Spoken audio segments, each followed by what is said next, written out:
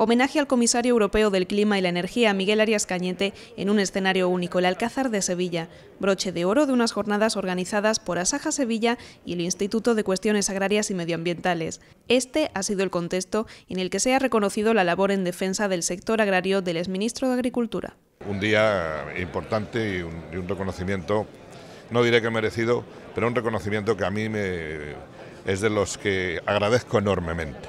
Sobre todo eh, el hecho de que se valore la defensa que se ha hecho en la reforma de la política agraria común, en la última reforma, la transformación que ha habido en el sector agrario estructural, en la industria agroalimentaria, en la cadena alimentaria, en la integración de cooperativas y, en definitiva en colaborar con el sector en el proceso de modernización y recuperación de competitividad del mismo, pues, pues me parece particularmente eh, reconfortante. También se ha destacado el papel fundamental en la última cumbre de París contra el cambio climático para limitar el calentamiento global que ya provoca un desastre en la agricultura y requiere medidas inmediatas. La incorporación de las energías renovables a la agricultura para mover nuestras bombas, para, para todos los procesos necesarios para el regadío, eh, con energías renovables en el futuro, pues es un proceso que habrá que afrontar.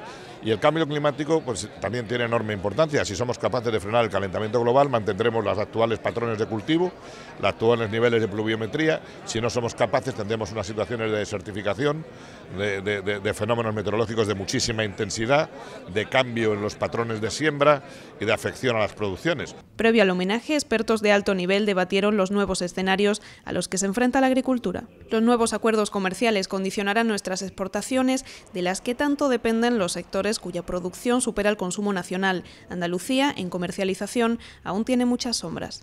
Eh, Andalucía pues ha tenido una cierta deficiencia en las estructuras de, comercialización exterior y sin embargo el futuro está ahí. Lo que producimos eh, tenemos que colocarnos, colocarlo en un mercado donde que valorice nuestros productos, que es nuestro valor añadido y la posibilidad entonces de, hacer toda esa innovación para lo que hacen falta recursos. Yo creo que tenemos que hacer ese esfuerzo no estamos mal, pero podemos estar mucho mejor y ahí es donde tenemos que trabajar.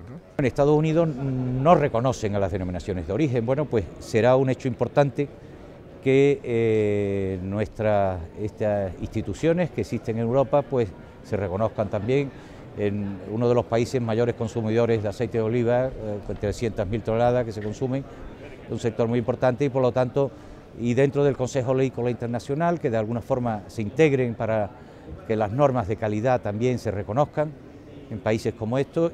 El cambio climático afecta a la agricultura. La solución pasa irremediablemente por frenarlo mediante un desarrollo sostenible. Yo creo que Andalucía tiene una enormes posibilidades, es una potencia agrícola. La agricultura hoy día es de las pocas actividades del hombre que puede ser sumidero de, de CO2 y por lo tanto puede tener un efecto positivo. Y luego lo que tenemos que entender todos es que el sistema tiene que ser sostenible y creo que tenemos las herramientas para poderlo hacer y eso nos da una, oportunidad de negocio grande y que pienso que tenemos que mirar el futuro con cierto optimismo, con dificultades como siempre, pero con optimismo.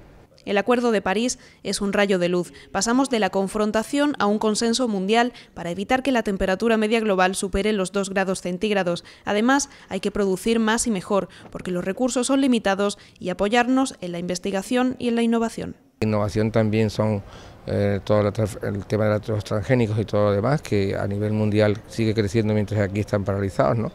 Tenemos que mirar estas cosas porque evidentemente el futuro va por estas vías para hacer una producción sostenible, con menos recursos, producir más, contaminando menos. Ante la innovación, la Unión Europea tiene programas como es el Horizon 2020 que puede financiar proyectos de innovación que estén vinculados a las nuevas tecnologías eh, que tienen que ver con el cambio de paradigma energético, es decir, incorporación de renovables y las tecnologías vinculadas al cambio climático. Andalucía puede participar en esta financiación europea, lo que hace falta es eh, que se movilicen los agentes económicos y sociales para utilizar al máximo los recursos europeos de que disponemos. Alimentar a una población creciente es la preocupación de todos. La agricultura es un pilar fundamental en la economía mundial y base de la supervivencia humana. En 2050 habrá que producir un 50% más de alimentos, reto para el que se cuestiona a la ganadería por insostenible. La FAO ya ha avisado que hay que ir a una dieta más, podríamos decir, mediterránea.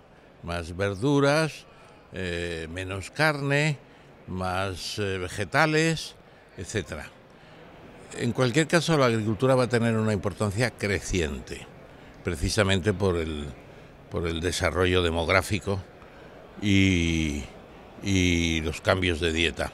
Cambio climático, innovación y acuerdos comerciales condicionarán el futuro de la agricultura. La solución, el desarrollo sostenible, eficiencia, energías renovables, biotecnología y relevo generacional. Solo así, la agricultura seguirá siendo la esperanza de la humanidad.